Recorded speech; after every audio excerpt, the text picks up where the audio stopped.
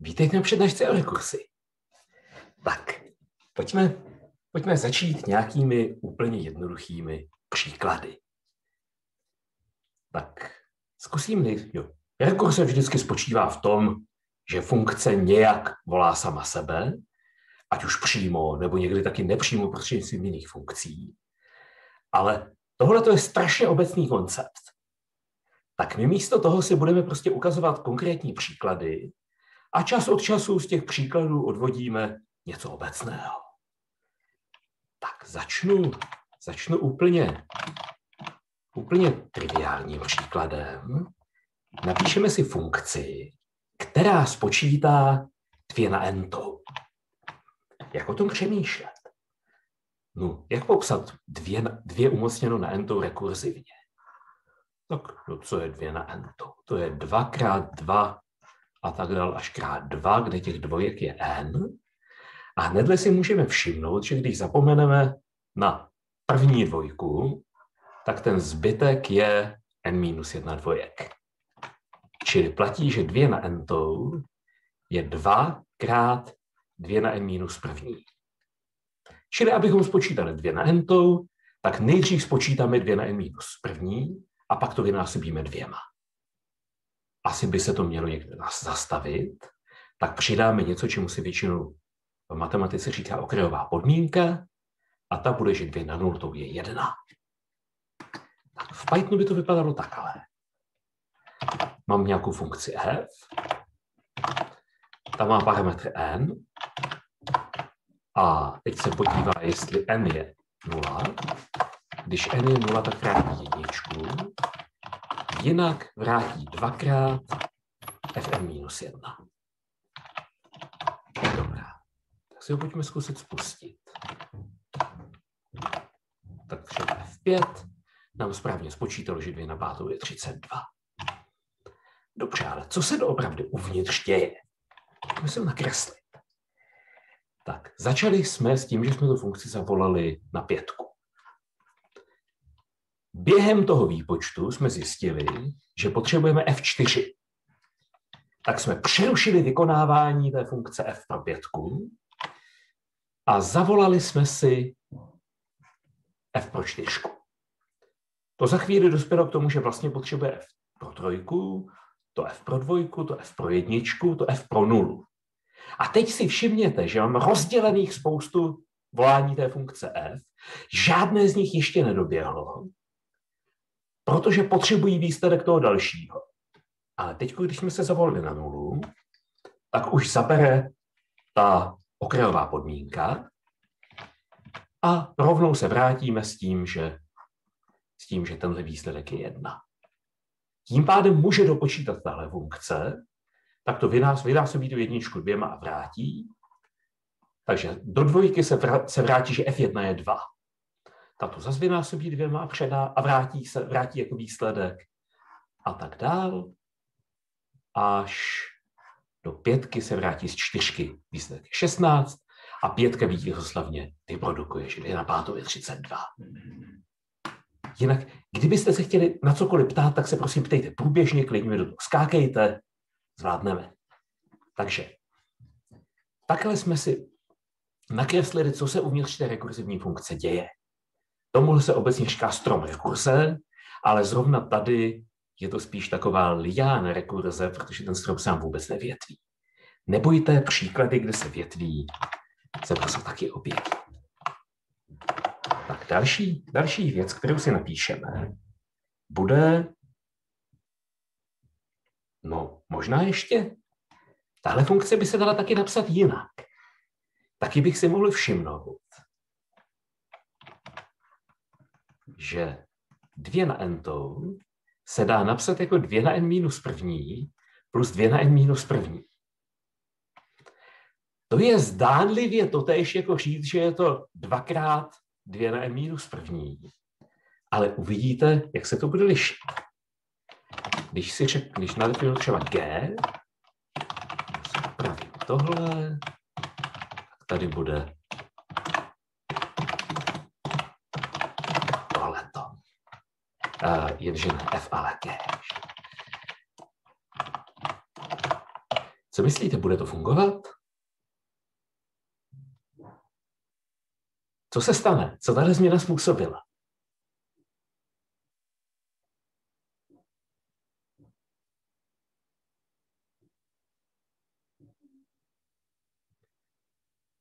Hmm, no, co pojďme že to bude mm-hmm. pomalý.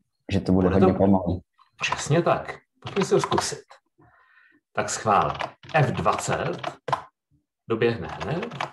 G20, to už bylo chvíli vidět, že to počítá, tak F30, G30, tam, tadadam, chrousty, chroust a pořád nic.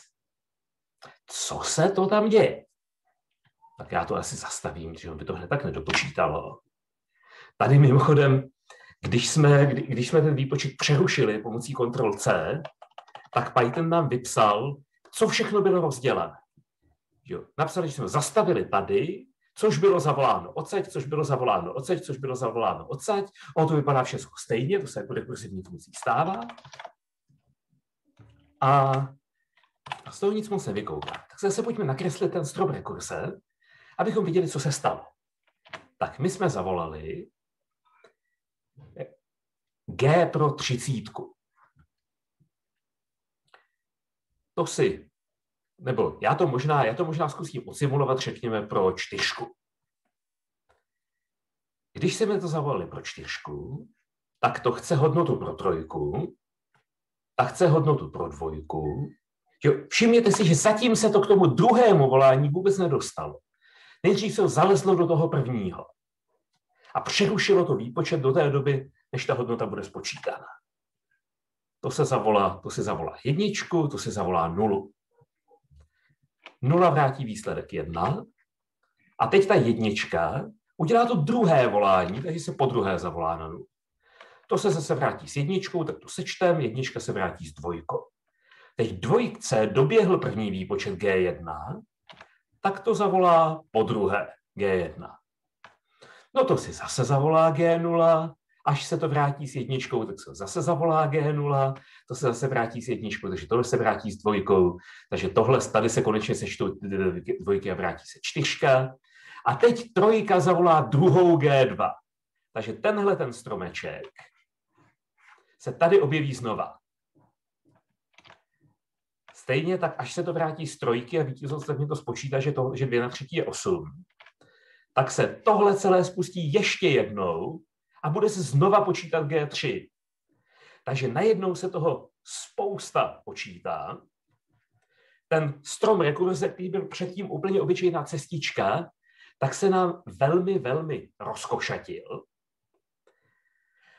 A můžeme jednoduše dokázat, že trávíme dvě na n času tím výpočtem.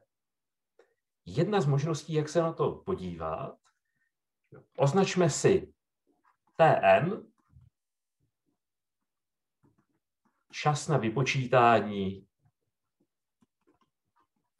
toho Gn. A teď víme, že když zavoláme Gn, tak ono si dvakrát zavolá Gn-1, takže dvakrát strávím čas 2Tn-1 a ještě k tomu přidám nějaký konstantní čas, já budu předpokládat, já si zvolím jednotky, tak aby to byla jednička. A pak tady zase vím, že T0 je nějaká konstanta, tak řekněme taky jednička. Tak kdyby tady nebylo tohleto plus jedna, tak prostě Tn je dvojnásobek Tn minus jedna, takže by vyšlo, takže by z toho vyšlo, že Tn je rovno 2 na n tou. Ta plus jednička navíc to ještě trošku zkomplikuje, ale i s tou plus jedničkou to bude aspoň 2 na n to. Takže jsme právě dokázali, že takováhle lehoučká úprava v programu způsobila, že to běží exponenciálně pomalu. Druhý pohled. Když si představíte ten strom rekurse, tak můžeme v každém vrcholu toho stromu rekurze, čili v každém zavolání funkce, spočítat, kolik jsme strávili času tam.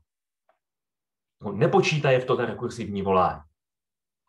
Tak když se podíváme na tu funkci g, tak ta kromě toho, že rekursivně volá, dělá jenom konstantně mnoho operací. Takže v jednom vrcholu toho stromu rekurze máme o jedna času. Konstantně mnoho času. Kolik vrcholů celkem ten strom má? No tak, tady je jeden, na delší hladince je dvě na, nul, dvě na první, je dvě, tady jsou dvakrát dva, takže čtyři, dvě na druhou, dvě na třetí a tak dál, až v hloubce n je dvě na n tou. Takže počet vrcholů je 2 na nultou plus 2 na první až plus 2 na entou. A tohle to je 2 na n plus první minus 1. Jak to dokázat? Uměli byste tohle dokázat?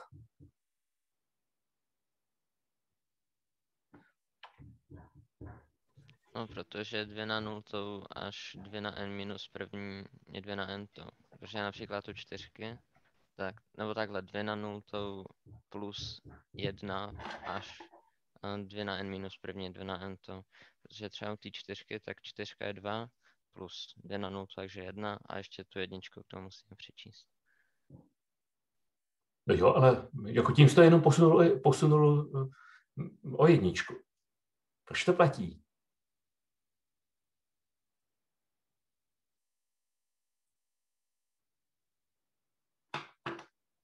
No, jenom jednoduchý způsob, jak...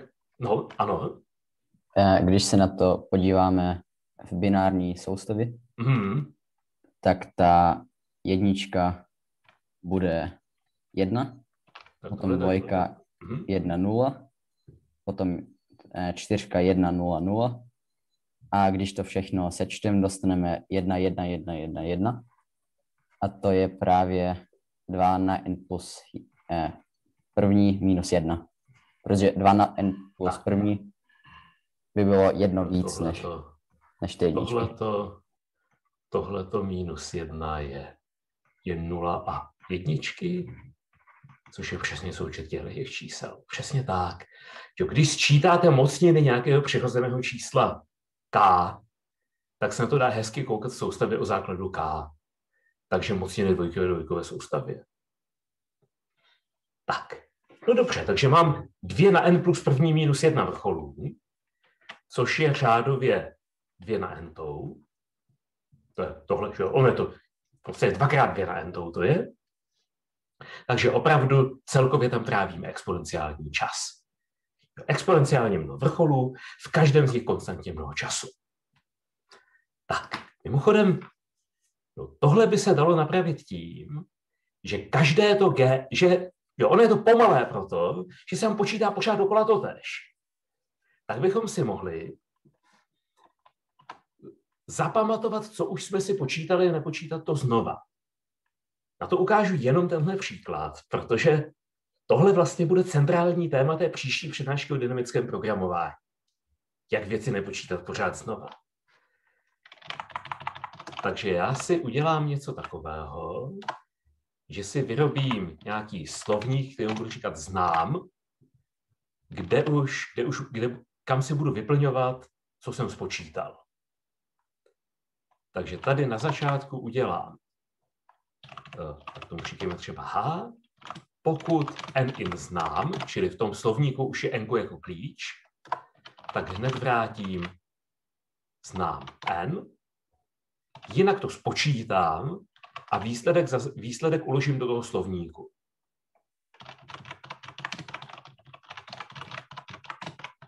A já to asi můžu napsat spíš takhle, že spíš pokud to ještě neznám, tak to spočítám a uložím a každopádně vrátím to, co je v tom slovníku. A tohle zase budou háčka. Tak, vidíte to v tom, co to udělá? Jak jsme si ušetřili práci? Jak nic nepočítám víckrát?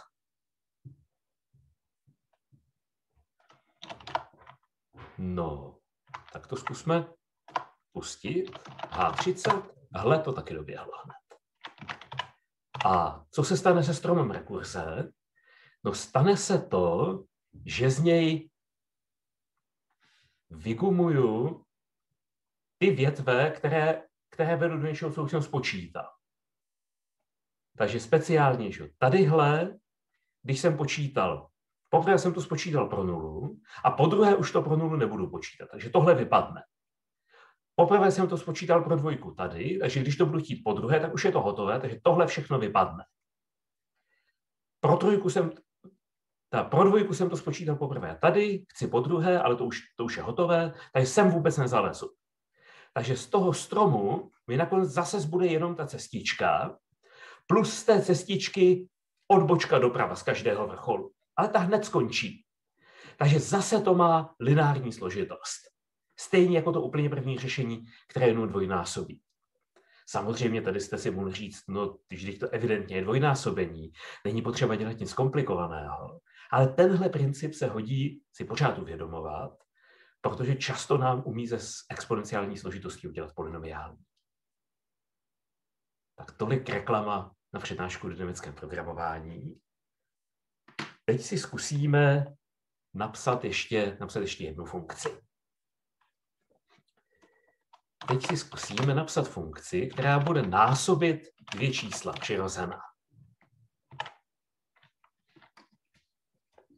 Tak. Jak popsat rekurzivně násobení? Máte nějaký nápad? Jak popsat rekurzivně x krát y?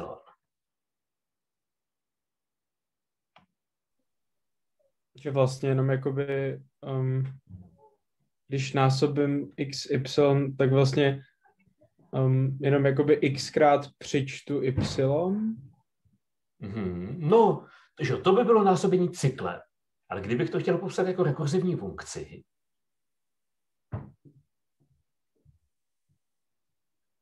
Takže x krát y je y plus um, x krát y minus 1. Tak. A zase potřebuji nějakou okrajovou podmínku, jak bude vypadat. Kdy se ho zastaví? Mm, když to y bude nula, tak, tak třeba. Nulu. Třeba. Super, tak si ho pojďme napsat. Tak násob xy bude, že pokud, pokud y je nulové, vrátím nulu, jinak vrátím y plus násob x y minus jedničkou. Takhle. Zkoušíme násob, tak třeba kolik je 8 x 7. Aha, není úplně dobrý. To by nemělo. Jsme viděli špatně. Nemělo by tam být spíš x minus 1 krát y. No, nebo by tady mělo být, že jo, asi když se budeme držet toho, že to, co se snižuje y, ať tam sedí i ta okrajová podmínka, tak tady, tady má být x. Když máme y minus 1 x a přidáme k tomu jednu další x, tak máme y x. Takže tady je, tady je x. Dobře, spustíme znova. Jo, to už vypadá důvěryhodně. Tak. Dobře. A když jsme teda ještě u toho násobení, ještě, jakou by tohle mělo časovou složitost?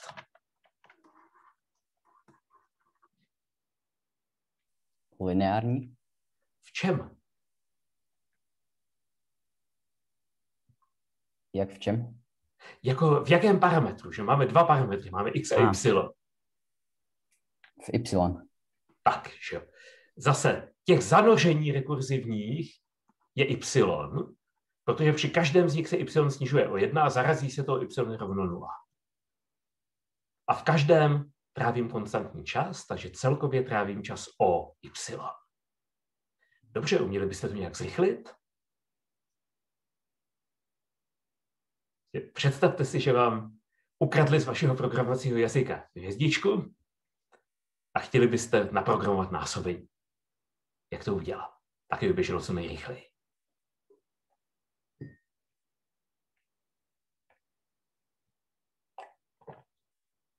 Tak třeba si jednou spočítám, co je dvakrát y a pak mm-hmm. už ne, uh, nebudu počítat um, x plus x krát y minus 1, ale x plus x krát y minus 2, nebo nějak teď jsem to nějak nedomyslel, ale nějak, že si spočítám, no. co je dvakrát to y a pak to už budu počítat jinak. Dvakrát x. Jo, dvakrát x. Jako, jo, to bychom, to bychom mohli. Že dokud je y větší než jedna, tak bychom mohli využít toho, že taky platí, že x krát y je 2x plus x krát y minus dvěma, minus 2. A mít spočítané to 2x, takže pak už rekurze bude y snižovat o dvojku. No jo, ale tím jsme si pomohli jenom dvakrát, takže asymptoticky je to pořád o y. Jaký nápad, jak to udělat ještě rychleji?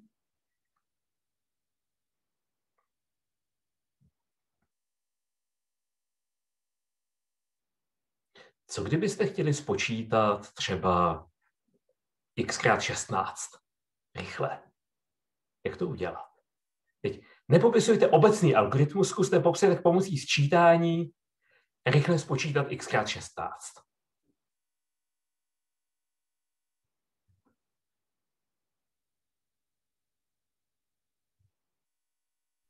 Třeba si nejdřív spočítám jedničky, um, budu, budu mít 16 jedniček, nebo budu mít 16 krát x a pak je zkombinuju, až dostanu 16 krát x. No, ale tam zase provedeš něco jako 16 čítání. 15 no, čítání. Jo. Nešlo by to rychleji? To nefunguje vynásobit 10 krát x a pak 6 krát krát x? No pak a jak budeme, jak budeme násobit 10 krát x? To je, jako, násob... je, to je jako jednou krát x a to, to dáme nulu. Um, to se dělá jak? Když máme jedno sčítání odčítání. No, špatně. Nedal. Ne. Co ti napadlo? No, jako využít nějak toho, že ta šestnáctka je jako čtvrtá mocnina dvojky, aby z toho pak hmm. byla jako logaritmická složitost místo té no, lineární. No, no, ano, míříš zcela správným směrem. Jak to udělat? To teď já jsem ještě nedomyslel. Já vás ještě nechám chviličku přemýšlet.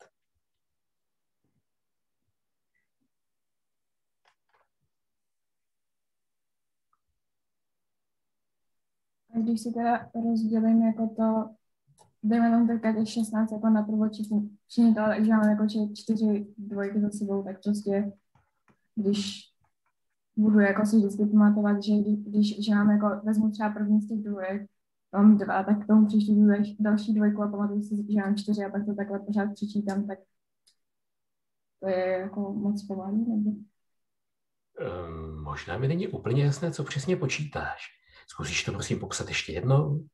No, já mám pocit, že mě napadlo to stejné, co Krištofa a nevím, jestli jsem schopná to nějak jako reprodukovat. dobře, dobře. No já tě z toho právě taky podezírám, že se, že se vydala stejným směrem, tak mě hrozně zajímá, kam si došla. No jako prostě to rozdělím na dva na čtyřkou, nebo kdyby to bylo třeba, nevím, um, devět, tak mám tři na druhou. Prostě pokouším se to číslo nějak rozdělit, abych pak mohla jako operovat s těma jeho kousíčkama, ale nevím, jako... No, a tak dobře, tak já to, já to zkusím dotáhnout do konce. Já si všimnu, že x krát 2 je x plus x. x krát 4 je x krát 2 plus x krát 2. To je další sčítání. Už sčítám dvě věci, které znám. x krát 8 je x krát 4 plus x krát 4. Na to by zase stačilo jenom jedno další sčítání. A x krát 16 je x krát 8 plus x krát 8. Hotovo. Takže to mám na 4 sčítání. Dobře, další cvičení. x na 7 na x na, x na 17. x, x krát 17, pardon.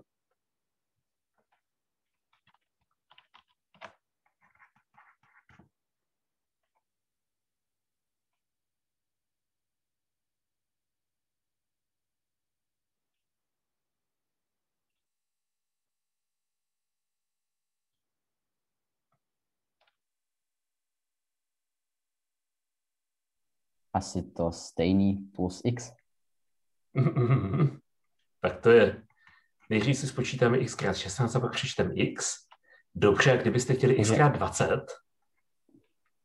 x krát 16 plus x krát 4. To by byla Ale... jedna možnost. Druhá možnost by byla v tomhletom kroku ještě přičíst x. Tím byste dostali x krát 5. A pak ho jednou sečíst se sebou samým a výsledek zase sečíst se sebou samým. A z tohohle už se, už se klube oucný algoritmus. Vlastně umíme zase rekursivně, jeli, jeli y sudé, tak x krát y je x krát y děleno dvěma plus x krát y děleno dvěma. Jedním sčítání. A je-li y liché, tak x krát y je x krát y minus 1, to umím tím předchozím způsobem, plus x. Pojďme si to zkusit naprogramovat.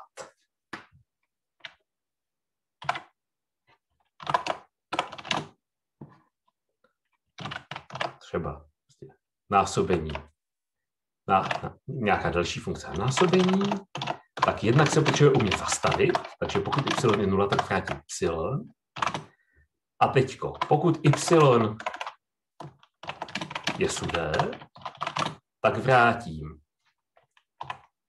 Já tomu, tak vrátím násob x, y minus 1. Eh, um, já jsem to chtěl dělat čistě pomocí sčítání, takže si počítím nějakou pomocnou proměnou. Vynásobím x y děleno dvěma a pak vrátím t plus t. A když y bylo liché, tak vrátím násob x y minus jedničkou plus x. Tak věříte tomu, že to funguje?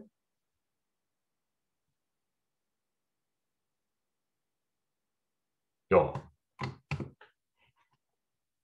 Pojďme to vyzkoušet.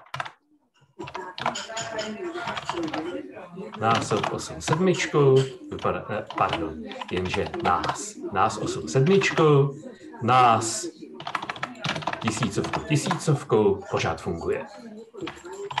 Je to vypadá, že to máme, že to máme správně.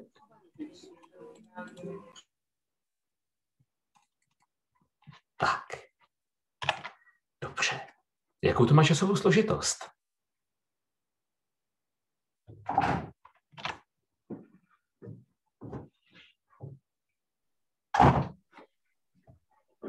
Já bych řekl, že to má jako logaritmickou, když to y je sudý, ale, ale lineární, když je lichý. Nebo že k tomu lichýmu jsme vlastně použili to, to co jsme použili předtím.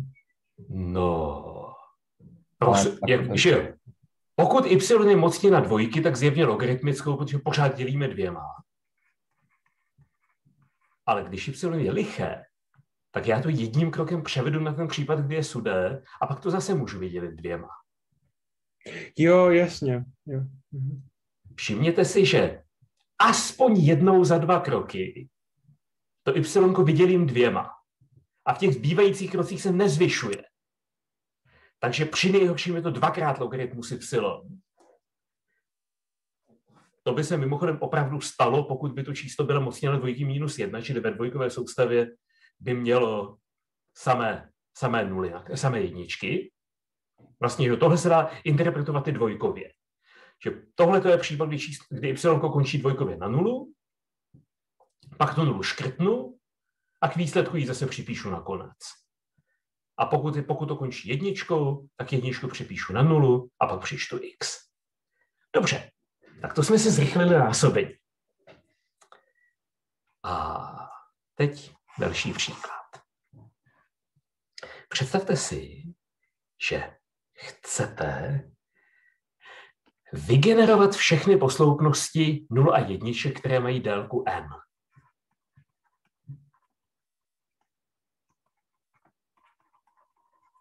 Generování posloupností 0 a jedniček délky n. Pojďme si vyzkoušet, jak to vypadá třeba pro n je rovno 3.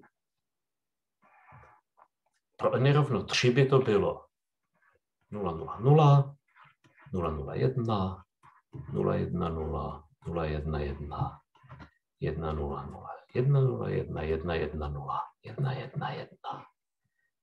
Všim, napsal jsem je v pořadí, kterému se říká lexikografické.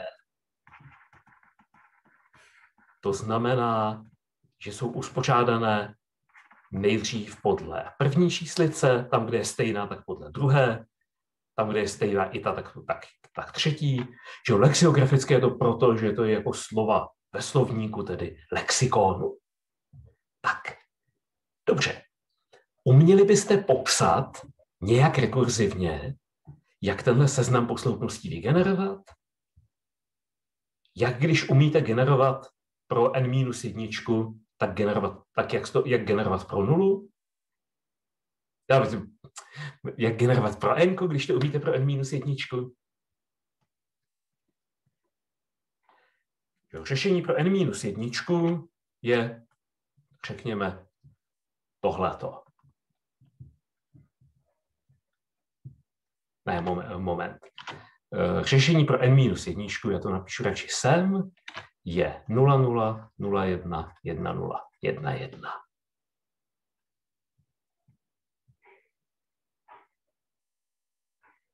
Tak jak, jak z toho napravo udělat to nalevo?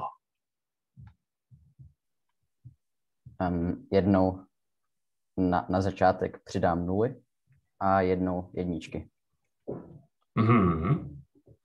Takže mohli bychom zkusit nejdřív si vygenerovat seznam všech posloupností délky o jedna menší a pak tenhle seznam jednou skopírovat a před všechny posloupnosti přidat nulu a po druhé před ní přidat jedničku. No, pojďme si to napsat. Jako, časem to napíšeme elegantněji, ale už tohle půjde udělat. Tak, tak napišme ta první funkce bude dostat n a teď. Co bude okrajová podmínka? Když se chceme zastavit. Když n bude 1, tak vrátíme 0 a jedničku. To je jedna možnost, ale já to s dovolením dotáhnu ad absurdum a prohlásím za okrajovou podmínku případ, kdy n je 0. No, když si generovat posloupnosti délky nula, tak taková existuje právě jedna a to je prázdná posloupnost. Takže vrátím tohle. No, co to je? To je seznam, jehož jediným prvkem je prázdný seznam. A jinak, jinak udělám co? Jinak vyrobím seznam S tím, že se zavolám rekursivně a potom, potom, že potřebuju jednou to přidat nulu na začátku, po druhé s na začátku. Takže tady budu mít nějaký výstupní seznam a do něj nejdřív budu přidávat všechny posloupnosti z toho seznamu, co jsem si vygeneroval a každou z nich do autu přidám posloupnost, která vypadá tak, že vezmu seznam s nulou a připojím, připojím za něj, za něj to x. A pak udělám to samé s jedničkou tady. A vrátím out. Dává to smysl? Jo. Tady je dobré vědět, že když v Pythonu sečtu dva seznamy, tak to znamená vyrob seznam, ve kterém jsou nejdřív prvky toho prvního seznamu a pak toho druhého. Tak co? Co myslíte, bude to fungovat? Pojďme zkusit. Jo, vypadá, že udělalo přesně, co potřebujeme. No, F8, no těch už bylo trošku víc. Kolik jich vlastně je? Dva na ento. Dvě na ento, přesně tak. Jo, to je mimochodem vidět z té rekurze. Po každé délku toho seznamu znásobíme dvěma. Protože každý prvek toho menšího seznamu dá vzniknout dvěma prvkům toho delšího seznamu. Tady máme dvě na entou. Posloupností. Dobře. Napadá vás nějaká nevýhoda tohle algoritmu? Řekněme, že naším cílem je opravdu ty posloupnosti vypsat. Nedělat s nimi nic dalšího. No jo, za prvý rekurze je asi pomalejší než, než iterativní řešení a taky si hodně kopírujeme ten seznam. Tak. Jako, jak rychle, jestli si rekurzí nějak program zpomalujeme nebo ne, bych možná nechal na konec přednášky. Ale to druhé je výborná námitka. Pořád ten seznam kopírujeme. A co víc, znamená to, že ho musíme mít celý uložený v paměti. Všech těch dvě, to, že, to, že ten program má nějakou exponenciální časovou složitost, je nevyhnutelné, protože produkuje exponenciálně velký výstup. Ale on navíc potřebuje exponenciálně mnoho paměti. Respektive dokonce n krát dvě na n, protože každá z těch posloupností má n prvků. Takže bylo by hezké, kdybychom uměli vypisovat průběžně a nemuseli si toho tolik pamatovat. Tak, já bych chtěl ukázat postupně dvě, tři možnosti, jak to udělat. Asi ta nejjednodušší je, že, že v podstatě to, co, jsem, to, co jsme teď vymysleli, by se dalo do tohle obrázku nakreslit takhle. Protože jsme tam prostě to řešení pro n rovno 2 našli dvakrát, jednou s předraženými nulami, jednou s předraženými jedničkami. Ale ono to tam je vidět ještě jednou. Že ono to tam je také vidět tady, tady, tady, tady. Že já to můžu říct taky tak, že vezmu tenhle seznam a za každý prvek přidám nejdřív nulu a, jed, a pak jedničku. Je vidět, že to vyrobí to samé? A já to vlastně můžu popsat celé tak, že napíšu funkci, že když už mám vygenerovanou nějakou část posloupnosti, třeba už vím, že to bude začínat nulou, tak já si tu funkci zavolám, aby vygenerovala všechna možná pokračování, aby prostě našla všechny posloupnosti, které začínají nulou. Ale když už mám nějaký začátek, představte si, že chci generovat posloupnost délky n, začínající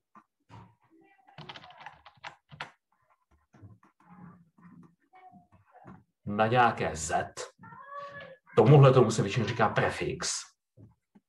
Začátek. Tak jak to vypadá? Představte si, že třeba ten začátek je teď ta... Že, začátek je teď ta nula.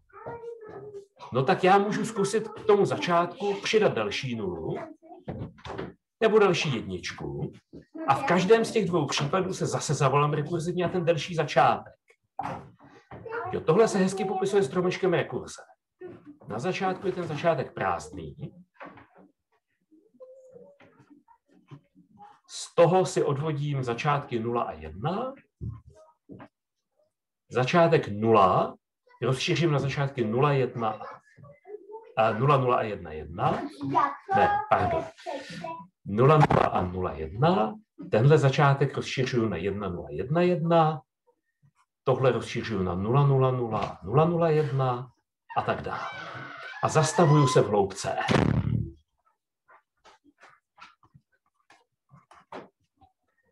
Tak, jasné, co dělám? Pojďme to, pojďme to naprogramovat. Tak, G bude vypadat tak, že dostane enko a začátek, což je při prvním zavolání to bude prázdný seznam, takže budeme to umět zavolat jako GN a tehdy se jako začátek doplní prázdný seznam. No a teď, pokud délka toho začátku už je rovná n, tak vypíšu začátek, to už je kompletní. A když je to kratší, tak se zavolám na to samé n a začátek, ke kterému jsem přidal nulu, a to samé enko a začátek, ke kterému jsem přidal jedničku. Musím vyzkoušet. 5, 5. Jo, vypadá dobře. G3 je přesně náš obrázek. Tak, vidíte to v tom všichni? Jo, super. A dobře, jak rychlé to je? Tak my víme, že tady zase máme nějaký dvě na n listu stromu rekurze a v, v listu právím, právím čas ON, protože potřebujeme vypisovat těch n prvků. Takže listy dohromady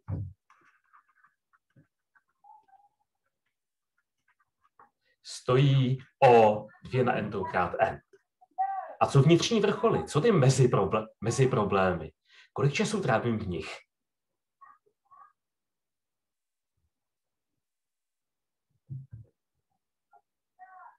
Kolik, če- kolik, ča- kolik času trávím v jednom? Pojďme se, podívejte se, na, podívejte se na program a rozmyslete si, kolik času trávím v jednom, v jednom podproblému.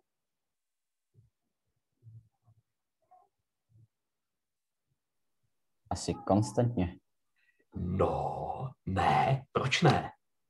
Co tam je nekonstantního?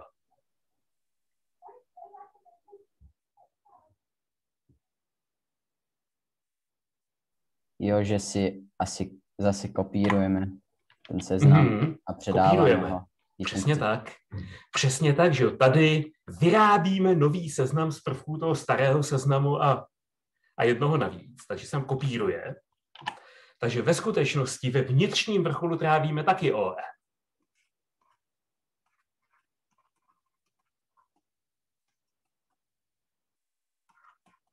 A kolik je vnitřních vrcholů? To už víme odsaď. Tady jsme věděli, že jich je, že celkem víme, že jich je 2 na n plus první minus 1. Takže když listuje 2 na n, tak vnitřních vrcholů je 2 na n minus 1. Takže zase máme, dohrom, zase máme o 2 na n krát n. Takže nám to nevadí. Jako asymptotic, asymptotickou složitost to neovlivní, protože celkem toho času ve vnitřních vrcholech je asymptoticky stejně jako v listech. Ale přesto, co kdybychom se chtěli toho kopírování zbavit? Uměli byste to?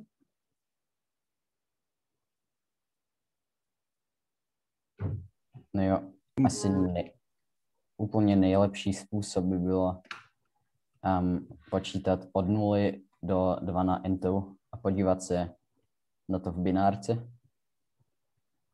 Um, tohle takhle, že tím byste toho udělal úplně jiný algoritmus. Což fungovalo by to určitě. Zrovna v Pythonu, který má neomezeně velká čísla, by to, by to, by to, jako je to i rozumné řešení. Ale kdybys to samé dělal třeba ve jazyce, který umí jenom 32 bitová čísla, tak ti to nebude fungovat pro n větší než 32. A hlavně my za chvíli budeme chtít tenhle algoritmus obecně, aby generoval mnohem složitější věci, kde už ta binárka vůbec nepůjde použít. Jo, jako není to samoučelné, že to chci řešit pomocí rekurze, abychom si procvičili rekurzi, spíš abychom si, abychom si nejdřív zkusili generovat jednoduchou věc a pak tu samou techniku použili na složitou věc. Tak, dobře. Další nápady, jak to zrychlit?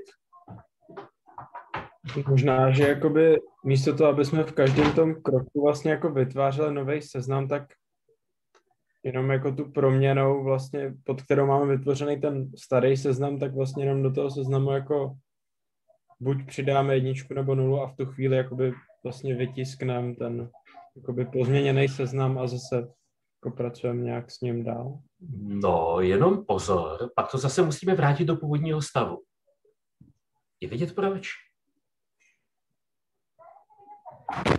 Jo, my, já, když udělám to, že tadyhle, jo, tady jsem měl na začátku prázdný seznam, tak bych do něj, do toho samého seznamu bych přidal nulu. Do toho samého seznamu bych přidal další nulu, takže až se ho dostane sem, tak v seznamu bude 0, 0, 0. A teďko, teďko půjdu semhle a přidám do toho seznamu jedničku. Takže teď v tom seznamu bude 0001. Vrátím se sem, zalezu sem, teď tam bude 0011. Takže se nám v tom seznamu budou postupně hromadit další a další číslice a dopadne to špatně. Takže to, co potřebujeme, je, aby když zalézáme dolů, abychom do toho seznamu tu číslici přidali a když se vracíme, abychom ji zase smazali. To pak bude fungovat. Tak si to pojďme napsat. Jo, já tentokrát už nebudu ten seznam předávat jako parametr, protože se moc jako parametr nechová. Já, si, já to napíšu pomocí množených funkcí. Budu mít funkci hn, která generuje. Uvnitř ní bude nějaká pomocná funkce p. A ta bude teď vypadat... A venku budu mít nějaký seznam z. A ta funkce p prostě bude sahat jak na n, tak na z z té vnější funkce h. Takže pokud délka z je n, tak vypíšu z, jinak.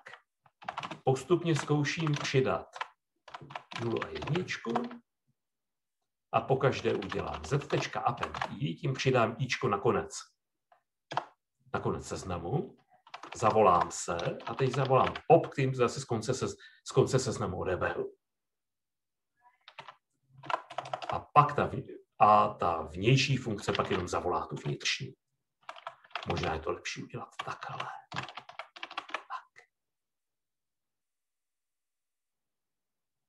Tak jo, souhlasíte? Bude to fungovat?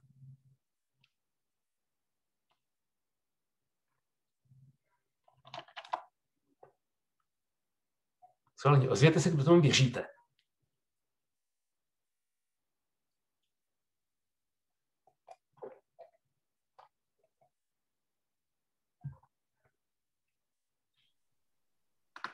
Jo. Tomas, Tomas ano, co, co ostatní? Tak já tomu budu třeba věřit. No, ideálně jako věřit, protože tomu rozumíš.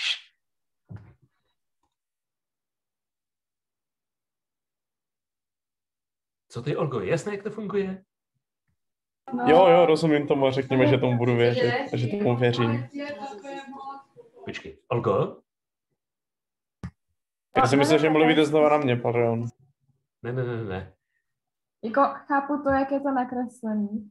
A teď se jako snažím nějak zpracovat, jak to vypadá, když se to napíše, takže jako... Jo, jiný, jinými slovy... Bych... Co tím myslíš, ale ne, nechápu, jako, jak to, že to vypadá takhle, když se to naprogramuje. Dobře, tak možná u toho ještě chviličku zůstaňme, až si to stihneš rozmyslet. Nemá, nemá smysl ti pořád utíkat. U těch předchozích si to viděla ještě?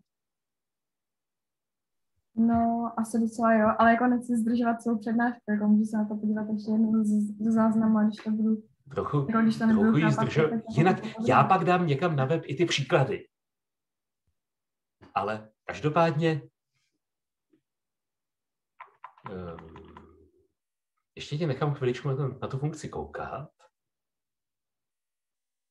A to, co je potřeba si uvědomit, že tam mám vlastně dvě funkce definované jednu uvnitř druhé, kde ta vnitřní je ta rekursivní, která nicméně místo toho, aby zpracovávala nějaké svoje parametry, tak zpracovává seznam, který patří té vnější funkci.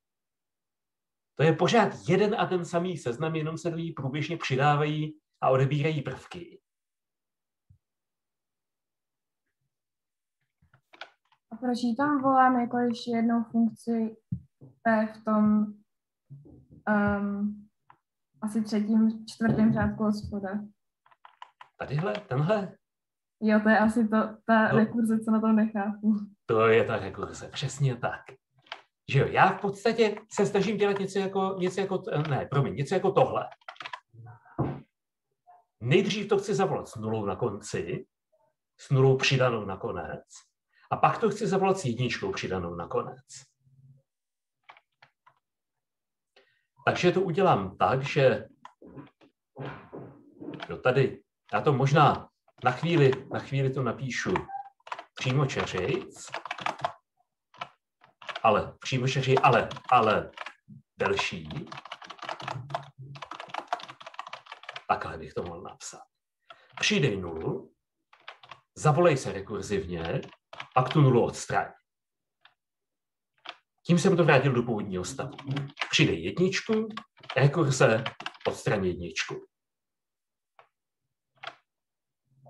Asi už Jenom mě... jak to vypadá v tom, jako, když si při, přitom jako představu, jak vypadá stromeček, tak asi jako docela dobře. Tak, přesně, jo. Jo, jo, jo. To eh, obecně hrozně moc pomáhá si k tomu pořád představit ty stromečky. Tak, prima. Tak, pojď, tak to pojďme vyzkoušet. A tři. Jo, vypadá dobře. A H256 ne, to by nejspíš trvalo miliony let. Tak H, H8, H16 ještě doběhne rozumně a vypadá to funkčně. Super. A teď bych přidal ještě jednu věc, dvě věci, možná dvě věci. Jednak, co kdybychom chtěli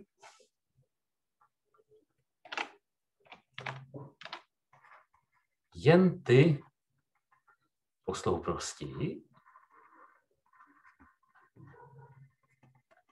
ve kterých je právě K jedniček.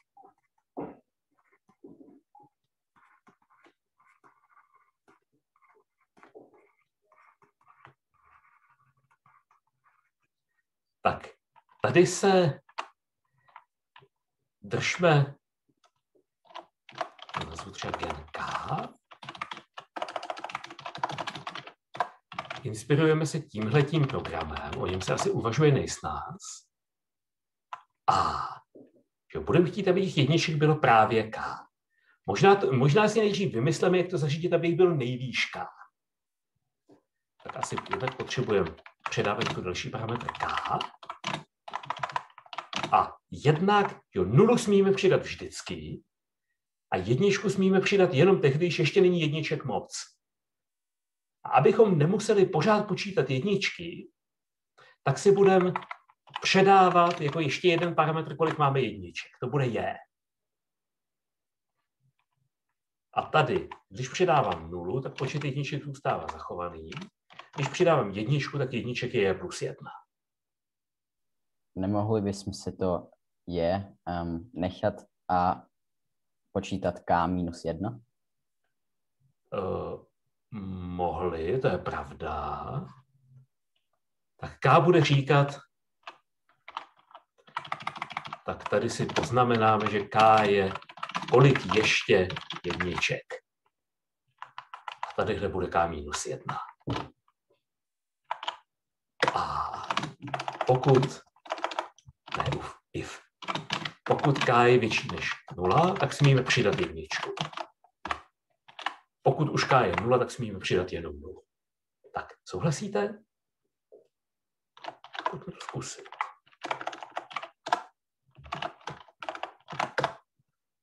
um, rekorek, jo, měli bychom říct kolik jedniček, tak třeba dvě jedničky, tři jedničky,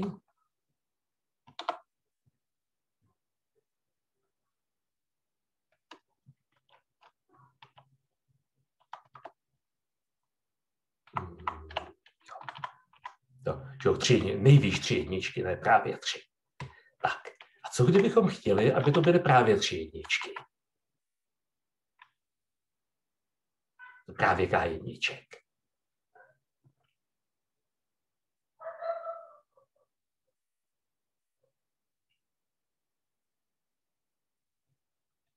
No, že tehdy tomu ještě musíme zabránit přidávat nuly v případech, kdy už by zbylo příliš málo místa pro ty všechny zbylé jedničky. Takže tadyhle bude pokud délka z plus ta je, ta, plus jednička za tu nulu, kterou právě přidáváme, plus to, kolik ještě potřebujeme umístit jedniček, je pořád menší rovno n, tak smíme přidat nulu. Jo? Jo, tohle je že když přidáváme, tohle smíme udělat jenom tehdy, když za tou nulou bude ještě dost volných míst na to, aby se tam vešlo těch K1, které ještě potřebujeme umístit. Nikdy jindy nulu přidat nesmíme. Takže musí být, že len z, to je délka toho prefixu, který zatím máme, plus 1, to je za tu nulu, kterou tam teď chceme přidat, plus k, tak aby se tohle ještě pořád vešlo do nk. Tak. G, 2, 5. G, tak G, G, ne, G5, 2, G5, 3. Tak. Mimochodem všimněte si, že 5.2 a 5.3 dává stejný počet posloupností. Je to náhoda nebo je k tomu nějaký důvod?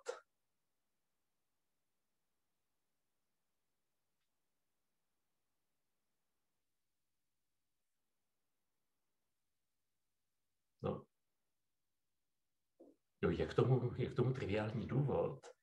Protože když zneguju posloupnost které, délky 5, které jsou právě dvě jedničky, tak dostanu posloupnost délky 5, které jsou právě tři jedničky.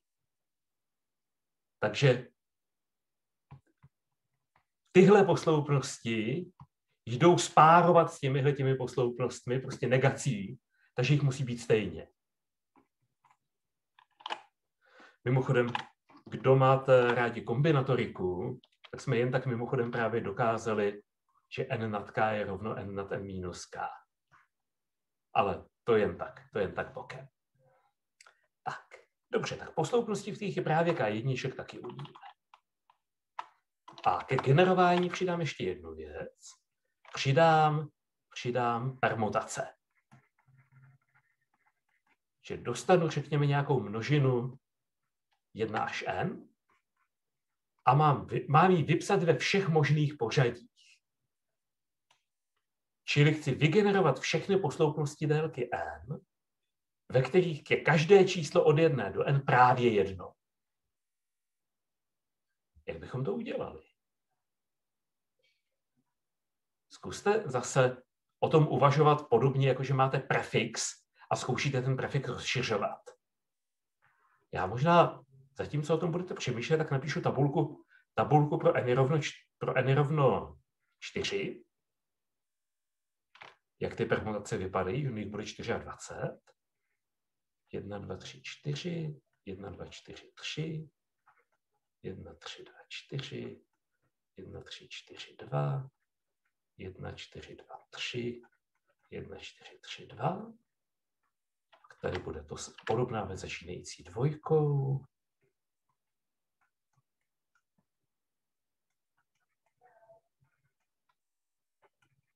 Zase je píšu lexikograficky.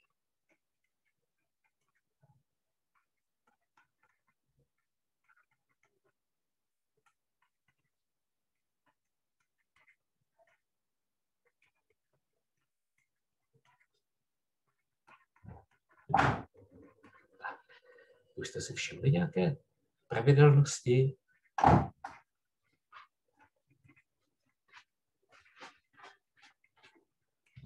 všechny. Představte si, že chcete třeba generovat všechny permutace, které začínají, začínají dvojkou.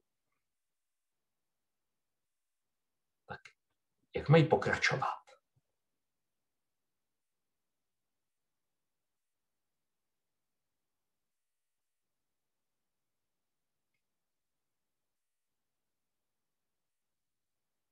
Zkuste říct, co v tom vidíte.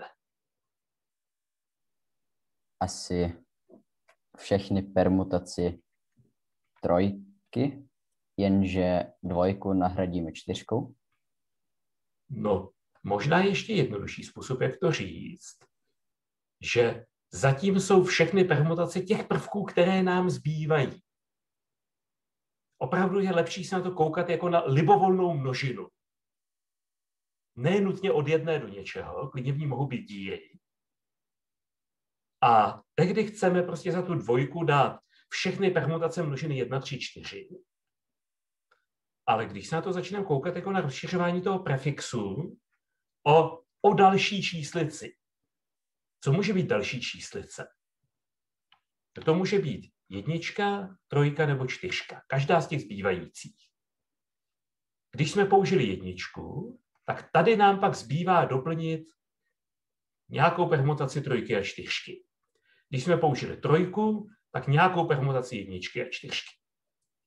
Když čtyřku, tak nějakou permutaci jedničky a trojky.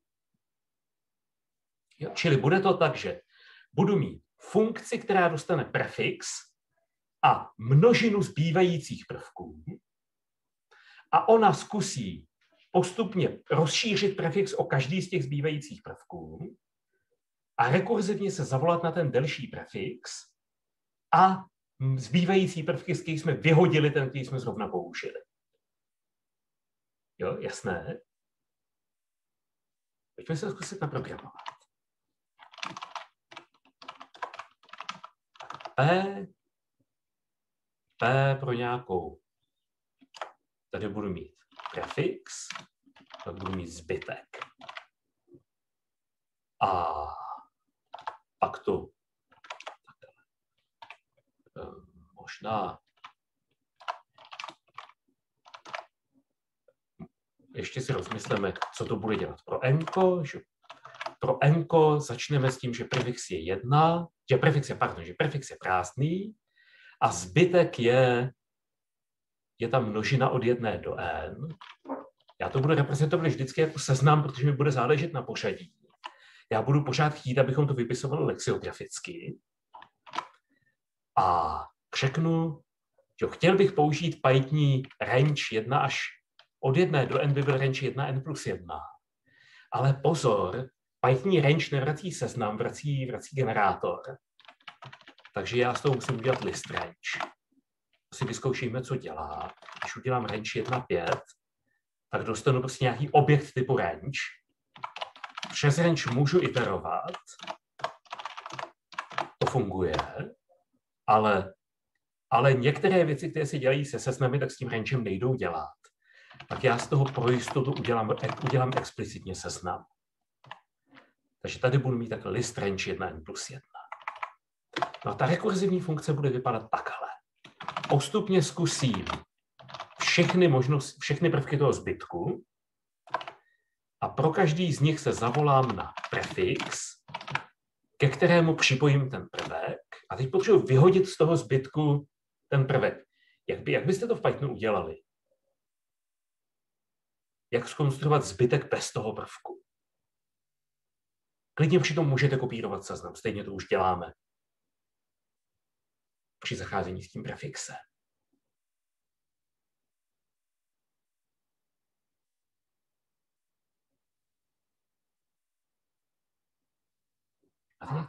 Počkat, ze zbytku odstraňujeme první prvek? Ano, ne první, x x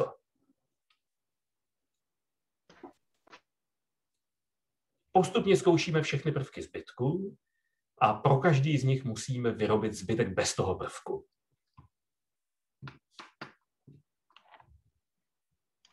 Tak zbytek tečka remove x nebo x. No, ale to udělá to, že to zmodifikuje ten zbytek, takže bychom ho pak museli složitě uvádět do původního stavu. Já bych chtěl vyrobit nový seznam, který bude obsahovat všechno z toho zbytku, kromě x. Třeba, nevím, jak se, jak se to jmenuje anglicky, list comprehension, myslím. Mm-hmm. Um, Kdybyste si... to někdo znali pěkný český název, jsem s ním. Nikdy jsem ho nenašel ani nevymyslel. Tak, přesně, že můžu na to, můžu na to použít tohle. Můžu říct, že to je seznam všech y pro y, které leží v tom zbytku, pro která platí, že y je různé od x. Tak, je to správně?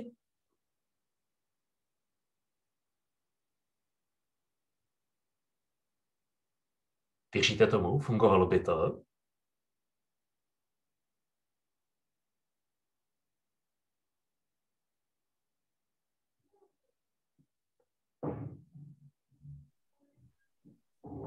Zatím tam jakoby není žádná jako, žádná jako ta eh, jako podmínka, kdy to Je to...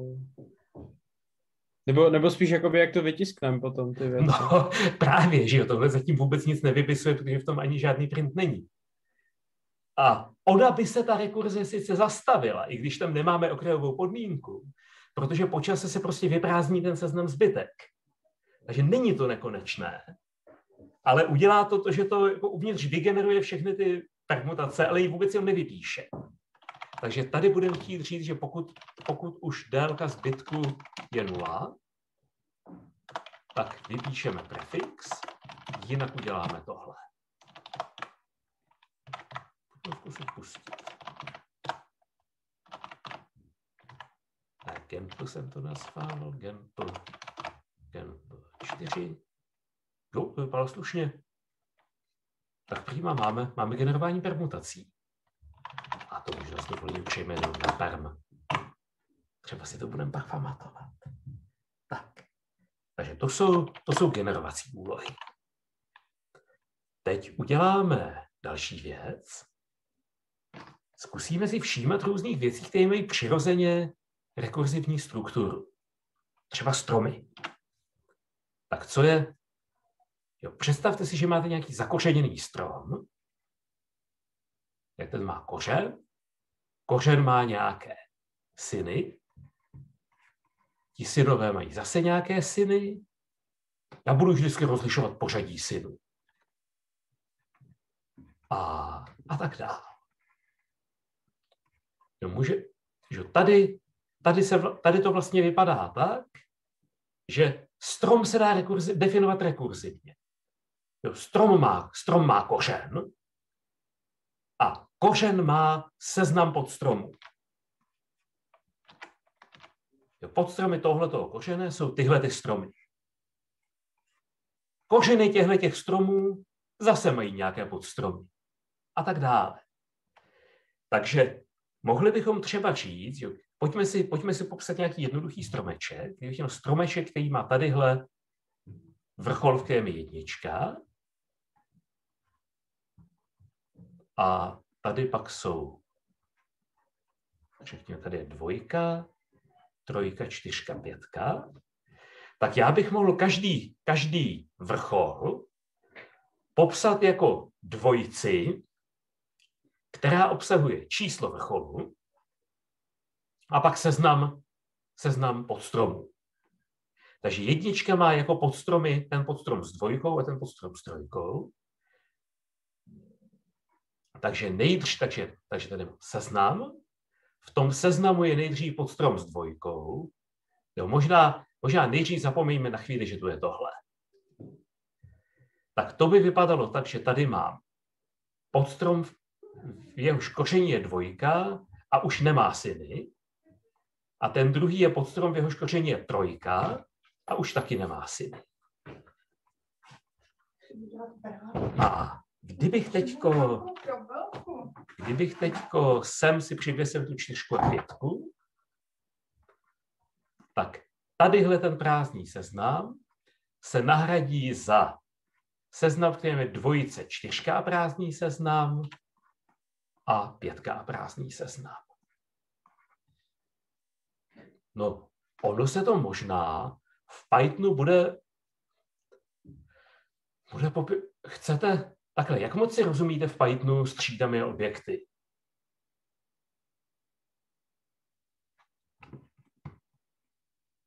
Když tak si, když tak si prosím zahlasujte, kdo se, kdo se, kdo máte pocit, že když vidíte třídu, tak tušíte, tušíte, o co se jedná a jak to funguje.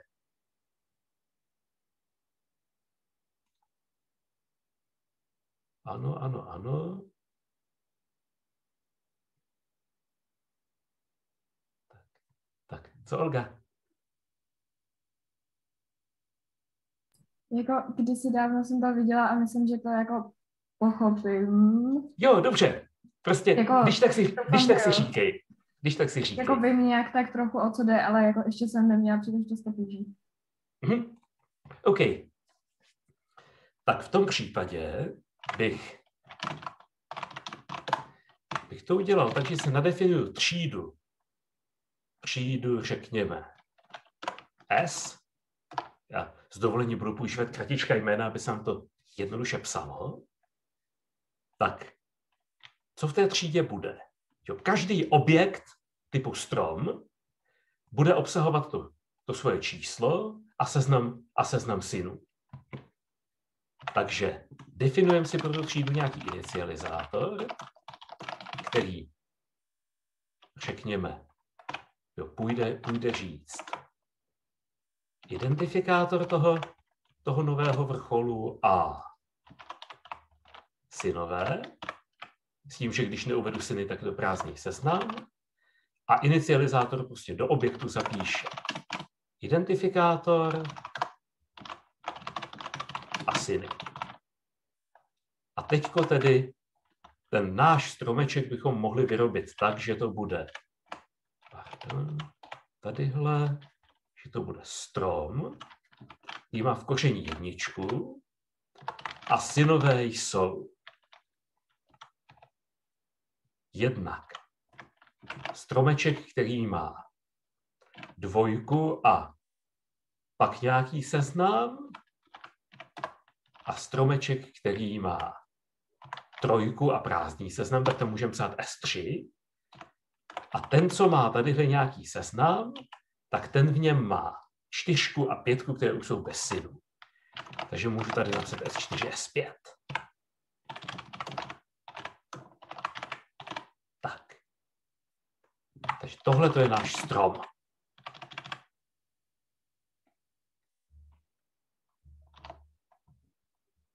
Schválně, co se stane, když to spustíme. No, to jsme se toho dozvěděli. Jo. Ten objekt nejde vypsat, když jsme neřekli jak, tak můžeme, můžeme zkusit můžeme zkusit vymyslet, jak ten, jak ten stromeček přehledně vypsat.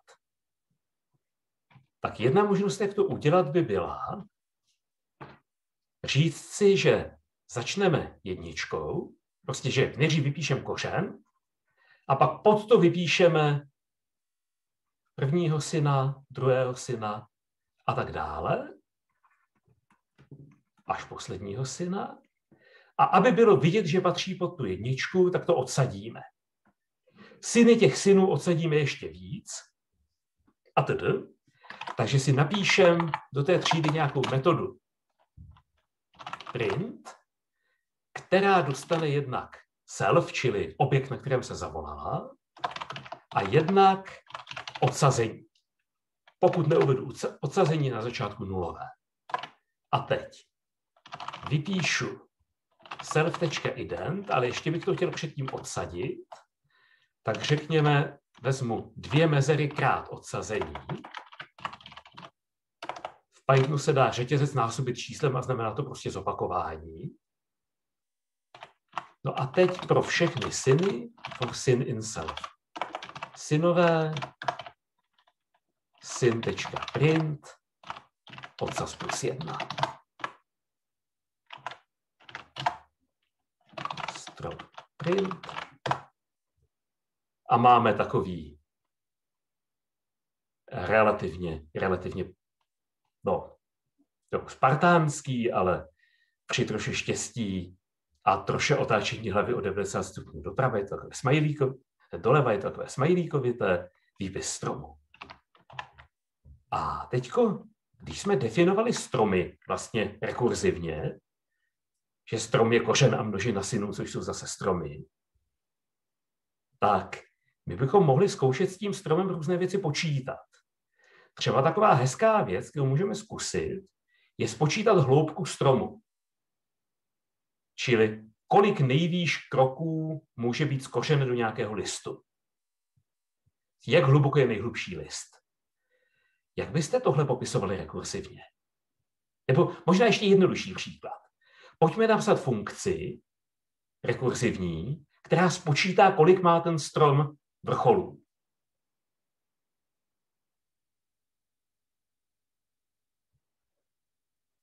Jak byste to počítali? Tak budu mít nějakou globální um, proměnou count. S dovolením zkusme to bez globálních proměných. Zkusme to opravdu napsat jako funkci, která dostane strom a jako výsledek vrátí, kolik vrcholů ten strom má. Tak ta funkce se asi bude volat sama sebe pro každý um, pro každého syna. Mm-hmm. A ten syn vždycky vrátí, um, kolik vrcholů má jeho podstrom. Tak a co a, s tím udělá? A pak to všechno sečte a vrátí to zase otcovi. Dobře. Bude to fungovat. Co na to ostatní?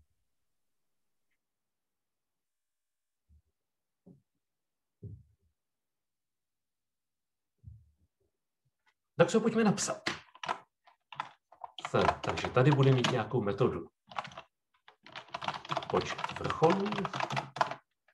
A ta bude vypadat tak, že se postupně zavolá syny a bude sčítat to, co to, co, to, to, co se rekurzivně spočítá pro syny a pak ten součet vrátí. Co tahle funkce spočítá? A, u, u, už to vidím. Počet vrcholů minus jedna. Tadyhle? Takhle? Ne, cel... Jo. Um, myslím, že return p plus jedna. Jo, tak možná můžeme začít prostě jedničkou. Jo, jo. Či jo, to je proto, že my musíme ještě započítat koše. Mimochodem, vidíte v tom, že vůbec nepotřebujeme okrajovou podmínku na zastavení? Jo, protože když jste v listu, tak list nemá syny. Takže, tohle, takže tenhle cyklus neudělá nic a vrátíte jedničku. Tak, to zkusme spustit. Došlo pět. Odpovídá obrázku. Super. Co kdybyste teď místo synu, místo všech vrcholů chtěli spočítat jenom, kolik má, kolik má strom listů?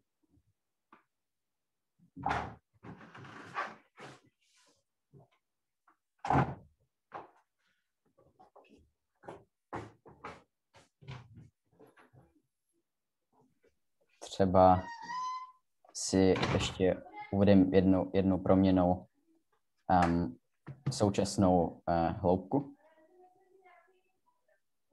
Nebo vlastně, vlastně nevíme. Ne, nevím. Zatím.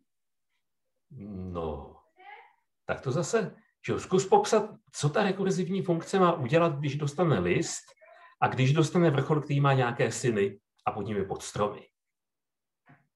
Jo, vlastně to má jen přičíst jedničku k tomu výsledku, když, um, když to už nemá, nemá žádný mm, podstrom. Přesně tak, že Tady to je, pro list je to jednička, pro vrchol, který má aspoň jednoho syna, je to součet hodnot přes ty syny a už se nepřičítá plus jedna. Takže tady bychom udělali něco jako pokud self synové má délku 0, čili je to, jsme v listu, vrátíme jedničku, jinak, jinak uděláme tohleto. Jo, jenom jsem, pardon, jsem tady začal editovat počet vrcholů, což úplně nechci. Tak si na to napíšu novou funkci, počet synů, počet synů. Ne synů. Názva synu, což je blbost, má to být listů.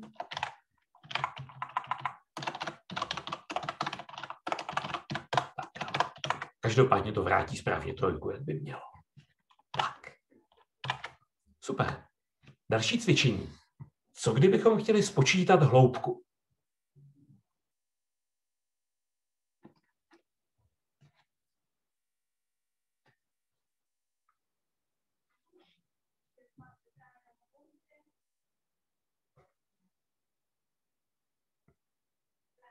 Tak, jak to udělat? Se pojďme zmodifikovat tohle. Když máme, když máme list, tak ten má, ten má hloubku. Hloubku asi budeme měřit v hranách, řekněme, že tenhle strom má hloubku 2, Tak list má hloubku 0. A jakou hloubku má kořen, který má nějaké podstromy? Chtít spočítat z hloubek těch podstromů. Maximum. Těch, těch podstromů. Děláš podobnou chybu jako předtím. Co by Maximum. tohle spočítal? Tohle by spočítalo nuly vždycky. Maximum z nul jsou pořád nuly. Maximum plus jedna. Takže to je, tak, jo, vlastně přidáváme k hloubce jedničku za tu hranu, za kterou ten podstrom vysí. Takže to asi upravíme tohle. Nebo já to možná napíšu trošku Pythonovštěji. Def hloubka. Tak if len self synové je nula, tak vrátím nulu. Jinak vrátím 1 plus maximum z syn tečka hloubka for syn in synové. Tohle Python taky umí. Tomu se říká generátorový výraz. Je to něco jako list comprehension, ale nevzniká tam ten seznam, neukládá se do paměti. Jo, určitě, určitě by fungovalo tohle, kdy opravdu sestrojíme ten seznam a pak řekneme maximum seznamu. Ale když to napíšu bez těch, bez těch hranatých závorek, tak ta věc není seznam, ale je to generátor. A maximum umí nechat si zadat generátor a pak počítat maximum z těch generovaných prvků. Zkusme. Tak, strom, hloubka, EO. Tady se. Jo, pořádku. Dobře, tak to jsou, to jsou takové stromečky. A teď ještě jednu věc. Teď můžeme pomocí stromečků popisovat třeba strukturu výrazu. Když si představíte nějaký matematický výraz jako třeba 1 plus 3 krát 5, 3 krát v závorce 2 plus 4, tak tohle to má stromovou strukturu. Kde kořen je to plusko, které se počítá až na konec. Jeho, jeho podstromy jsou tyhle ty dvě věci, které se mají sečíst. Takže ta levá už je přímo jednička. Ta pravá je další výraz, jehož kořenem je to krát. To má pod sebou jednak trojku a jednak tenhle podvýraz. Je má v kořeně plusko a tady je 2 a 4.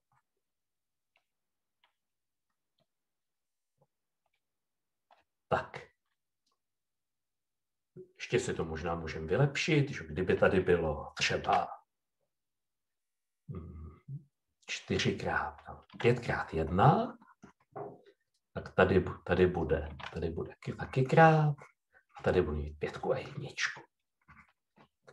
Tak pojďme upravit tu naší definici stromu, aby uměla, aby uměla reprezentovat výraz. Mně se asi bude hodit nemít obecný seznam synů, ale prostě si pamatovat levého a pravého syna. Protože že oni, oni nejsou zámění, když odčítám, tak záleží na tom, co od čeho. A asi nebudeme mít nikdy operace, které mají víc než dva argumenty, víc než dva operandy. Takže budeme mít nějakou třídu V. A a inicializátor dostane operaci a pak případně nepovinně levý a pravý podstrom, tak self op je op, self levý a levý, self pravý a pravý. A teď teda zkusme třeba tenhle výraz si reprezentovat. Ten má. Výraz bude V, v kořeni má plusko, Teď levý syn je V ze hvězdičky, které má pod sebou V5 a V1. A druhý syn je hvězdičky, která má pod sebou stroj, list s trojkou a součet dvojky a čtyřky. Tak, vidíte to v tom? Jo, zase si můžeme napsat nějakou funkci na vypisování. print. Jo, tady by měl být asi napísaný. Uh, print self a zase odsazení, které je na začátku nulové. A teď print, to když jinak. Uh, print mezery krát odsazení a self operace a teď if self levý is not none, tak self levý print odsaz plus jedna a pak to samé pro pravý. To zkoušíme. Je oh, oh, to není dobrý. No to není dobrý, protože že tady máme, tady nám chybí Včka. My jsme tam nastrkali čísla místo výrazů typu číslo. Jo, to už vypadá líp. A teď bychom třeba mohli zkusit napsat funkci, která ten výraz vyhodnotí. Jak se vyhodnocuje takovýhle výraz? No, Rekurzivně vyhodnotím ty dva podvýrazy a pak na jejich výsledky aplikuju tu operaci v koření. Takže můžu napsat. Hodnota. A teď musím zvlášť ošetřit čísla, což můžu udělat takže se Pythonu zeptám, jestli typ operace je int, tak tehdy vrátím přímo tu operaci. Jinak L bude hodnota levého, takže self levý hodnota. P bude to samé pro pravý. A teď, pokud operace je plus, tak vrátí L plus P. Pokud je to minus, vrátí L minus P. Pokud je to krát, tak tady krát. Pokud je to lomeno, tak budu se číselně dělit. Else race not implemented error. Vygeneruju výjimku, že, že tenhle operátor nezná. No to je celé vyhodnocení výrazu. Schválně. Výraz tečka hodnota. 23, dá se tomu věřit. 2 plus 4 je 6, 3 krát 6 je 18. 18 plus 5 je 23. Jo, a vyšlo vám 23. Správně. Tak to vypadá dobře. Takže takhle vypadá kód na vyhodnocení výrazu. A dělá to kalkulačka třeba takhle? Nebo, nebo je na to nějaký lepší způsob? No, že pokud byste chtěli ty výrazy jenom vyhodnocovat, tak nemusíte stavět kompletní stromeček můžete průběžně prostě můžete průběžně vyhodnocovat to, co, to, co, může, to, co lze. A tím vám stačí méně paměti a vyjde ten algoritmus jednodušší. Ale tahle ta reprezentace má tu výhodu, že s tím výrazem pak můžete dělat spoustu dalších věcí. Vy můžete v tom, výz, v tom výrazu třeba mít proměny. Jo, mohli byste říct, jako, že, máte, že nemáte tohle, ale že máte třeba 3 plus 7 krát x. Takže pak byste měli tenhle stromeček. A teď ten stromeček můžete opakovaně vyhodnocovat pro různé hodnoty xu. Tohle to často dělají třeba programy na kreslení grafů funkcí. Stejně tak, kdybyste chtěli ten výraz nějak upravovat, třeba si napsat funkci, která umí roznásobovat závorky, tak té se ta stromečkově struktura výrazů velmi hodí.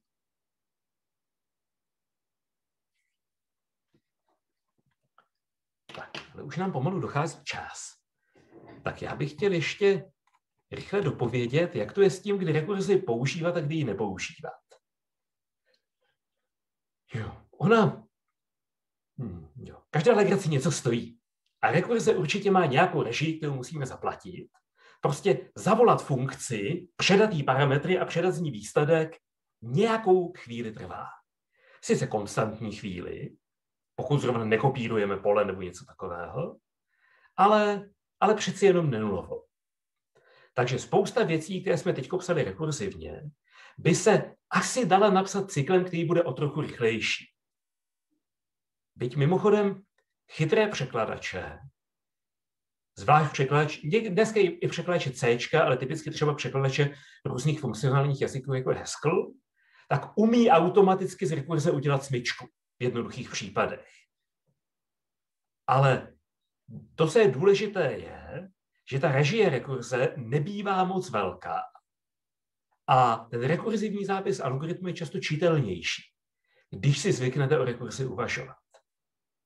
Takže pak se rekurze prostě, že často je lepší, než snažit se o co nejmenší dobu běhu programu, tak minimalizovat součet doby, kterou jste ten program psali a co ten program běžel. Takže program, který poběží minutu, ale potřebovali jste ho psát a letět čtyři hodiny, dost možná je horší než program, který sice běží pět minut, ale měli jste ho za pět minut hotový. Takže rozhodně stojí za to rekurzi umět používat. Samozřejmě člověk si časem vypěstuje nějaký cit pro to, kdy je lepší ji nepoužít. Ale, ale je, to, je to strašně mocný nástroj, kterým se dá spousta věcí popsat velice pěkně. Ale ještě jednu, jednu věc, že když máte rekurzivní funkci, tak Python si musí pamatovat, co odkud bylo zavolané, čili vlastně cestu v tom stromečku skořené do aktuálního vrcholu, tomu se říká zásobník rekurze. A Python má, má sám od sebe, když neřeknete jinak, dost nízkou maximální povolenou hloubku zanoření. Jako tisícovku nebo něco takového. Tak ještě zmíním, že existuje funkce sys.setRecursion kterou se to dá měnit. Pozor, jsou kolem toho nějaké zrady. Více věc dokumentace o té funkce. Ale občas je na to potřeba sáhnout. Tak. Máte nějaké dotazy? Ještě jedno, jakže ta funkce na zvýšení toho limitu v Pythonu? Uh, já ji napíšu. sys.set recursion limit.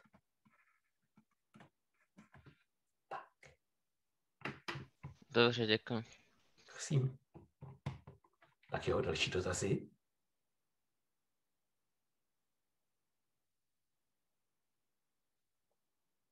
Tak, pokud, když tak se pak ptejte zase ve večerním povídacím bloku.